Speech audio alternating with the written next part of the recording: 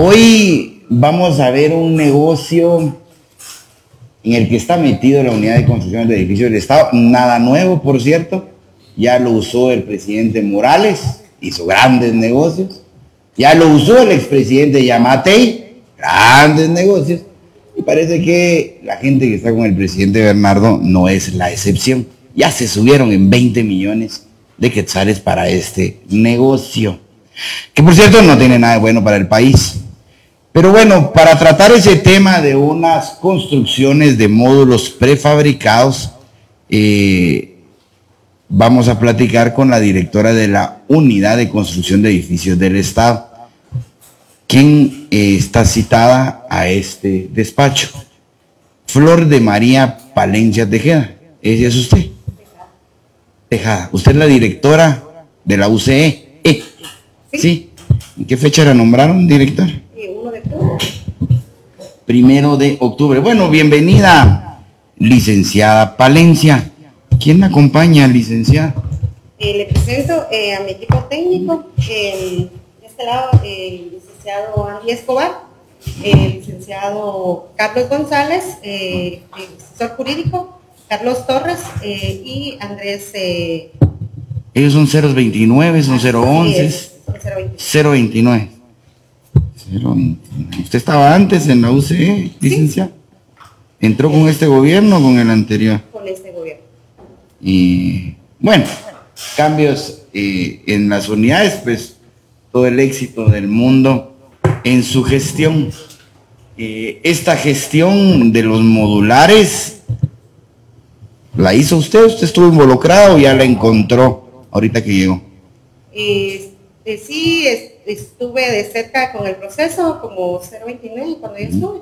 Y ahorita que tomo posesión, pues ya encontramos el proyecto ya. ¿Ya piensan seguir con estos mods? Sí, en ejecución del proyecto. No, no, con más. Ya, tiraron 20 millones de quetzales. Pues.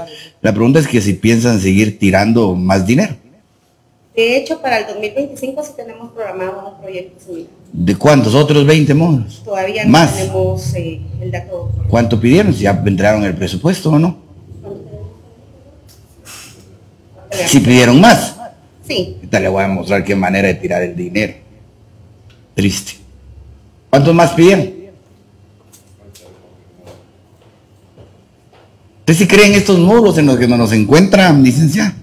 Eh, claro que sí, es un proyecto que realmente ha llegado a soluciones inmediatas a la población.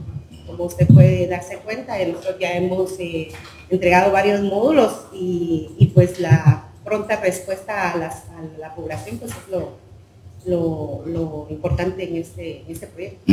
¿Compraría usted uno de esos para su casa? Eh, ¿Se gastaría usted 500 mil quetzales para uno de estos en su casa? No es la misma utilidad que se le da. ¿Para su casa no lo haría? No, porque no es para misma utilidad. yo tendría un poquito más de tiempo para construir un proyecto. Para su casa no. Para la casa de uno no. Yo tampoco lo usaría en mi casa ni de chiste. Mira, pero bueno, para otros, con su dinero, ahí sí. El dinero de los impuestos. ¿Ya nos encontraste cuánto es? Bueno. Bueno, en lo que nos vas contando, ya yo quiero explicarle qué es ese proyecto y por qué es tan dañino para el país. Eh, y ahí nos va comentando, defendiéndolo, porque pues al final he visto al presidente Arevalo y lo han llevado a unas inauguraciones de esto, han dicho que está muy bonito, eh, pero no dicen cuánto cuesta, ¿verdad? Y eso es de lo que nos vamos a enfocar hoy. Yo ya tuve una reunión para este tema, que por cierto se gastaron 19 millones de quetzales eh, en unos módulos prefabricados, donde de dicen o lo hicieron bajo eh, el estado de emergencia, de las pocas compras que hicieron. ¿Por qué lo meten en el estado de emergencia y no lo hacen, digamos, en el proceso largo normal? Eh, ¿Me está Sí, sí. De hecho, eh, acuérdense que el, eh, estos módulos inicialmente, cuando se empezó el proceso, es para la, los daños de, de las entonces, eh, por eso fue que era para una atención inmediata para los centros de salud por tema de, continuidad de servicios. Por eso fue que se incluyó en el estado de calamidad. Ya, yo a las dos escuelas que fui, en ninguna, en ninguna estaba la necesidad por las lluvias. Bueno, en una sí, pero no era porque ustedes llegaron, ya lo habían. Ese es como tres días antes fue que se volaron los techos. Pero ahí no había ninguna emergencia por lluvias. En ninguna de las dos que fui a ver yo a Y ustedes las metieron como emergencia lluvias. Es decir, les mintieron. Nos mintieron pues a la población diciendo que iba a ser por una emergencia de lluvias y nunca fue. ¿Por qué lo meten en el estado de calamidad como haciendo ver que era por las lluvias cuando en realidad no fue así? No, de, hecho, si ustedes se dar cuenta, la mayoría, bueno, de hecho, todos los eh, módulos que se están eh, instalando sí han sido eh, dañados, la población sí tiene su necesidad precisamente por, por, la, por la inclemencia del tiempo, ¿verdad? Y la idea de esos módulos era darle una continuidad inmediata a, estos, a estas eh, necesidades de la población. Digamos, yo sí veo claro y no se puede tapar el sol con un dedo de la necesidad de infraestructura en educación que hay. Casi que en cualquier escuela donde uno va quieren un aula más, eh, quieren una cocina, quieren mejoras, un aula para salones de maestros, para director. Todas las escuelas tienen grandes necesidades. Em, pero eso no quiere decir que por la emergencia en el estado de calamidad vamos a aprovechar para meter lugares donde no fueron afectados directamente por las lluvias de este año. Si no, en todos lados cabrían y podríamos meter en emergencia todas las escuelas, pero no es así. De hecho, hay más necesidades de las que nosotros estamos... Totalmente de acuerdo, pero no por la emergencia. Ese es el tema, que ustedes aprovechan la emergencia para meter estos 20 millones de quetzales de modulares. No es que, dado que en la emergencia se cayeron o se arruinó un aula o se arruinó un centro de salud, metamos ahí la emergencia. Eso nunca fue así, porque por lo menos a las dos a donde yo fui, ahí no había emergencia por lluvias. Pues.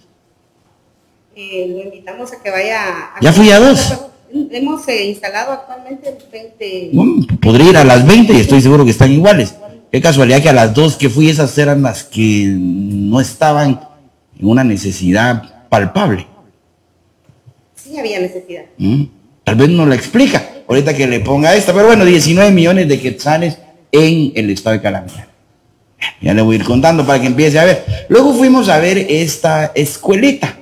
Dos fueron las que fuimos a ver. Eh, esta eh, está en Meros, bueno, las dos están justamente en Escuintla explíquenos la necesidad de esta escuela que urgía por daños de las lluvias de esta temporada ir a poner ahí una escuela. Eh, sí, gracias. Eh, tal vez eh, que nos pueda explicar, por favor. Tal vez me puedes apoyar que tú eres el supervisor. Eh, buenos días. Hola, buenos días. Eh, la parte de atrás donde está acá en... ¿Esta cuál vas a hablar? Esta es Rosalín. Esta. Así es. La misma. ¿La En la parte de atrás donde se ve la ventana de abajo, donde está ubicado, ese techo se voló. Estoy de acuerdo. Desde la parte donde se ve la puerta roja. Y antes de que me sigas mintiendo, ¿me puedes explicar cuándo se voló ese techo? ¿No tenés idea? Pues yo sí te voy a decir, justamente una semana antes de que yo llegara ahí. Una semana antes. Es decir, en tu planeación que hubiera sido bien hecho, digamos, que hubiera estado claro, porque en el invierno esto se lo llevó y poner aquí el modular, en tu planeación no existía, que era porque se había volado el techo. Por eso, y este requerimiento, y este requerimiento te lo hicieron, este hicieron bastante antes. Bueno, yo sí le puedo demostrar, no, no vayas a venir aquí a mentir, pues el requerimiento de esta escuela para lo que ellos estaban pidiendo al Ministerio de Educación jamás había sido la construcción, porque esto se voló hace una semana antes de que yo llegara. Ellos estaban pidiendo porque del lado de atrás, por la dirección, se les entra el agua por abajo y los que querían era solucionar unas filtraciones de la parte, digamos, no de este lado, sino que al frente a este lado. Y esos eran los requerimientos que tenían. Ellos jamás dijeron, mire, póngame en mi campo de fútbol, que fueron a arruinar el campo de fútbol a los muchachos, hágame un módulo ahí en medio. Yo nunca lo dije.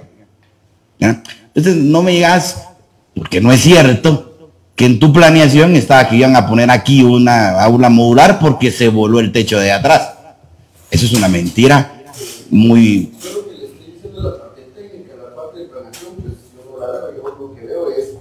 A ver Entonces, como le comento ahí, lo que pasó es que se voló el techo. Nosotros no podemos intervenir algo tan inmediato, así fácilmente. Necesitamos primero una solicitud y luego lleva un papeleo para nosotros Estamos de acuerdo.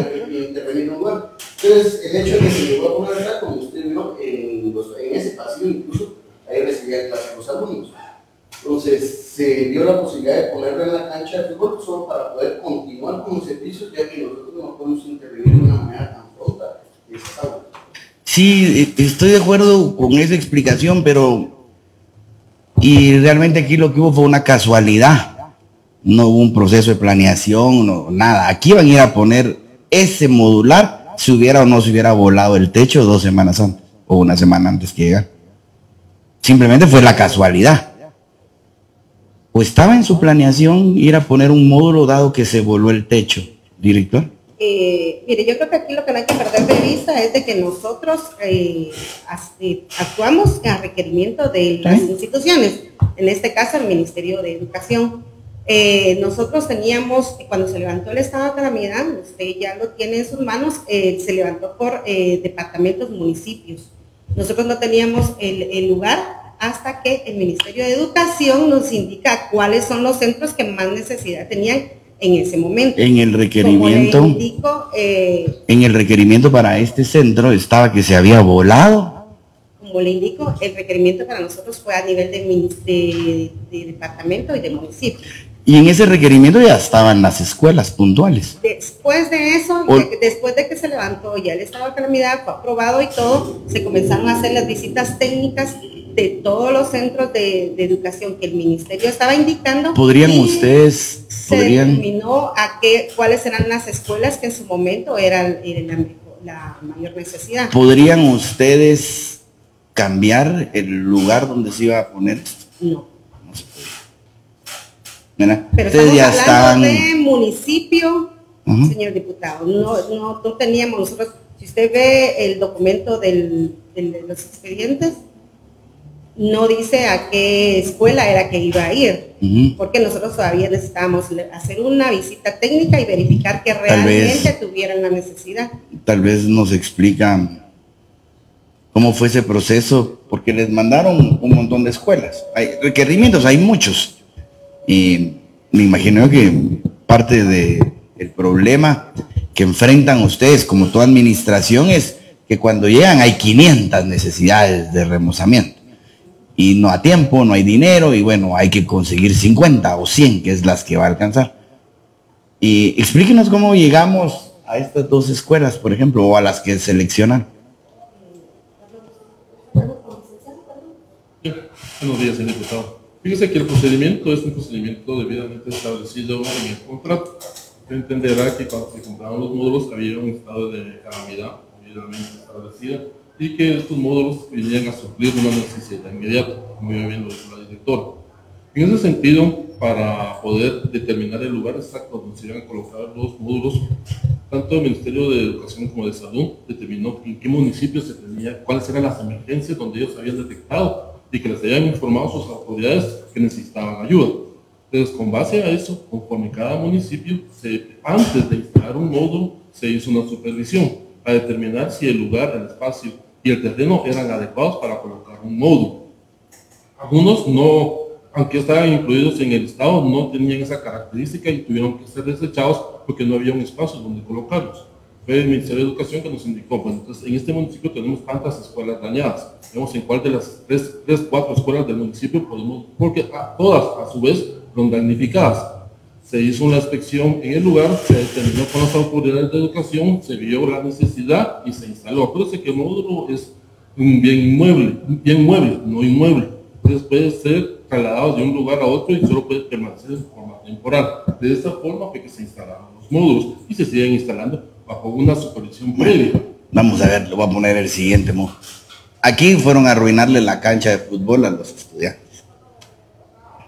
Y en este otro, en esta otra escuelita, ¿Cuál era la necesidad?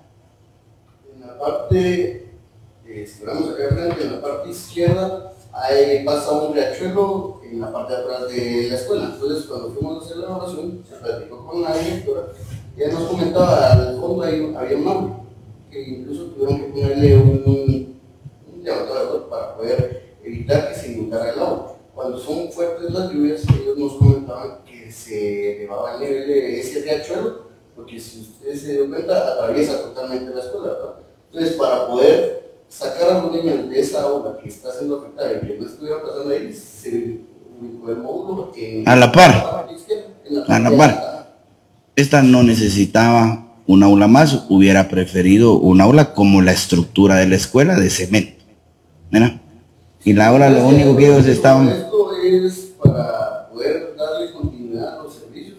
Es un proceso en lo que se hace la solicitud Ya. y podemos todo el proceso. Bueno, ustedes llegan ahí, va a ver, en ninguna de las dos existía, digamos, esa necesidad temporal, ni el agua de la emergencia de este invierno había arruinado nada. Mira, vamos a ir a ver las demás a dónde fueron a gastarse los 500 mil quetzales de cada escuela. Pero yo le quiero contar eh, esto. Esto fue lo que pagaron ustedes por cada escuela, ¿verdad? 553 por cada aula. Por cada aula. 553 mil quetzales fueron a pagar por un aula. Es lo que es importante decirlo, son estas que están aquí, esta es la cotización. Se gastaron 553 mil quetzales en cada una, 19. Ya me conseguiste cuánto más quieren gastarse, porque este año se gastaron 20 millones. ¿Cuánto quieren para el otro año en esto? Tenemos eh, de 201 millones 201 millones. para eh, Para estos módulos, 360 módulos. mismo precio. Es calculado. A usted no se le olvide la oferta del presidente, del presidente Bernardo Arevalo, que decía que el 20, 30 o 40% se iba en corrupción. La gente de la UCE está comprando los módulos más caros de los que los compró en el gobierno del presidente Yamatei. Más caros. Bueno, le voy a seguir contando. 19 millones y hoy se quieren gastar 200 millones, que de verdad, directora, creo que lo deberían de pensar. Es una forma, digamos, muy, muy, no sé qué para usar, pero eso es ir a tirar el dinero. Eso es desperdiciar recursos y se lo voy a ir poniendo paso a paso. Más o menos esto es lo que ustedes están haciendo y el precio por metro cuadrado es de 5 mil quetzales. Usted ya empiece a pensar, guatemalteco, ¿qué haría usted con 5 mil quetzales por metro cuadrado? ¿Una casa? Haría casa con losa, casa con lámina, casa tipo canadiense. ¿Qué haría?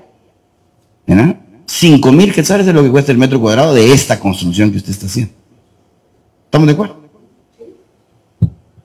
Bueno, nosotros mandamos a preguntar a una empresa y una casa, una construcción con losa y block de las mismas medidas cuesta 280 mil quetzales. Losa y block. Estable. 280 mil quetzales. Ustedes están pagando el doble por un aula. ¿Por qué hacer eso? ¿Por qué irnos con los modulares que son el doble de caro y no tienen ni siquiera losa? Si construimos con losa, vemos que es más barato. ¿Cuál es la lógica de este modular de lámina? Acuérdese que eh, la idea de este tipo de proyectos es llegar a una respuesta rápida a la población. Usted sabe, conoce los tiempos de ley para levantar un evento de construcción, por ejemplo, ¿verdad? Eh, solo el tiempo para ir a elaborar eh, y a tener un SNIP aprobado, estamos hablando de más de un año. En el, y todavía sí después de eso tenemos que ver proceso de, de cotización o licitación en su caso, que también se lleva un promedio de nueve meses por ahí. Y de ahí el tiempo de construcción. La idea de estos, de estos proyectos es precisamente lo que indicaba inicialmente, es llevar una respuesta rápida.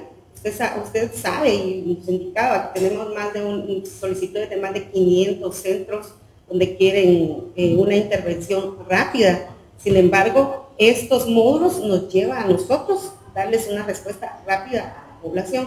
Por supuesto, usted nos indica, eh, estamos hablando de módulos que se han venido hablando de, años atrás, pero no son los mismos módulos. Eh, tal vez usted podría, nosotros le podríamos pasar una presentación, usted ya la ha visto, cómo son las presentaciones, de cómo son los, los módulos en la realidad, que no tienen nada que ver, no son nada similares a los módulos que en años anteriores. Bueno, parecidos. Ahí sí. ¿No? No, no, no son iguales. Bueno. Así es, no, solo quisiera hacer una aclaración que el área techada se mide, el área techada es la que se mide como área de construcción. Entonces, si dividimos los 130 metros... Esto es área cubierta, ¿dónde, sacas este? Así es. ¿Ah? Entonces baja como a 4.200 metros cuadrados. Eh, pero es solo la losa que le sacas, ¿eh? Sí, pero no es metro de construcción. No te lo voy a comparar con otra del cajón. Luego, eh, si lo vemos en construcción de bloque, ciertamente ahí estaría de la, sería de la misma medida de los 280 mil.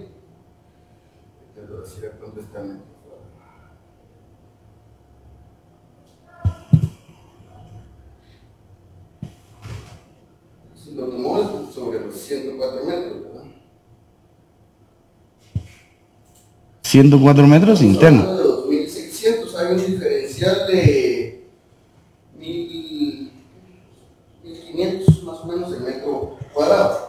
También a esto tenemos que tomar en cuenta los gastos de indirectos que va a tener la empresa para llevarlo a cualquier distinto lugar donde se va a ubicar la obra. Tenemos que contemplar transportes, tenemos que contemplar eh, los precios de los materiales en donde se vaya a ubicar cada escuela. Entonces, esto va haciendo que este precio vaya variando. Entonces, esto puede hacer que se vaya eh, propuesto en un área céntrica, ¿verdad? Ahora te voy a poner otro porque puedes seguir buscándole excusas a la forma tan burda en que están tirando el dinero con este proyecto. Ahorita te voy a explicar, te voy a explicar con tus tecnicismos. Mira, te voy a explicar con tus tecnicismos. Anda a comprar una casa en Escuintla, cerquita de donde fuiste a poner los modulares. Una casa en Escuintla, en un residencial. Esta casa te sale en 4.600 el metro cuadrado con terreno incluido. Dice ambiente, parqueo, por sala, comedor, servicio sanitario completo, dormitorio. Tiene techo. Y nos está saliendo en 4.600. Una vez que va a durar 10, 20 años. Y ustedes están yendo a tirar el dinero en modulares. De hecho, la vida útil de los modulares también es de 20. Mm, modulares. Que no le puede hacer segundo piso ni nada. Vean lo que se está gastando. Y le voy a poner, esta es la otra que hicieron. Esta fue la otra aula que hicieron en la época del presidente Morales y el presidente Yamatei. Si pensaban gastar como 500 millones de quetzales, logramos detener ese tiradera de dinero. Y hoy el gobierno del presidente Areva viene y retoma el mismo proyecto que tenía el presidente Morales y el presidente Yamatei. El mismo proyecto. Ir a hacer estos módulos. Este módulo creo que lo que tiene es esta rampa que no tiene el de ustedes. Ese no trae rampa. Este tiene esta rampita y este se estaba comprando, una vez más, área de construcción, 52 metros aquí a la pared, no a la salida del techo. Este salía en 4.670 el metro cuadrado. Y esta unidad de construcción del Estado, es decir, el gobierno actual, lo está comprando mil quetzales más caro. Usted esperaba una rebaja, dado que no hay corrupción, y lo que viene a encontrar es que el gobierno de Yamatei compraba esto en 4.600 y el gobierno del presidente Areval lo está comprando en 5.300. Ese es el negocio que están haciendo. No son iguales los modos. ¿No? Estos también tenían garantía de varios. Pues si los ve. No, no son iguales. ¿No? Los bueno. no son iguales. ¿Cómo si se lo multiplica por el área? Claro, porque el área que nosotros calculamos es a la pared, no a, lo, no a la caída del techo. Bueno, si sacas esta la caída del techo, va a bajar la caída del techo. Pero por eso estamos hablando de metro cuadrado por unidad.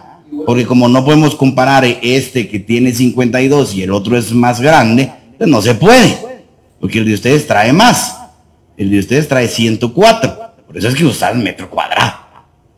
Metro por cuadrado, o sea, ¿cuánto cuesta más o menos? Si es más grande, más o menos es un, una señal de cuánto te va a costar. Ustedes están pagando más caro, director, de lo que pagó el presidente Morales y el presidente Amate.